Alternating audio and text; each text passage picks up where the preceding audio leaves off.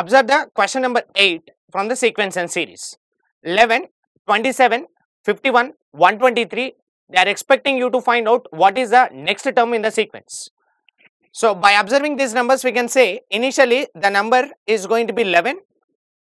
Next, the number is 27. Next, the number is 51. Next, the number is 123. So, they are expecting you to find out what is the next term here. So, in order to find out what is the next term here, in order to find out what is the next term here, I can definitely say, so 11 becomes 27, 27 becomes 51, 51 becomes 123. So, this is what happening here. I am trying to observe 11 is something like, can I write this as 3 square plus 2 what is 3 square? 9. 9 plus 2 is going to be 11.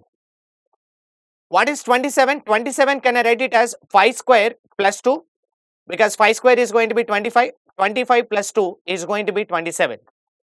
What is 51? 51 we can write it as 7 square plus 2. 7 square is nothing but 49. 49 plus 2 is going to be 51.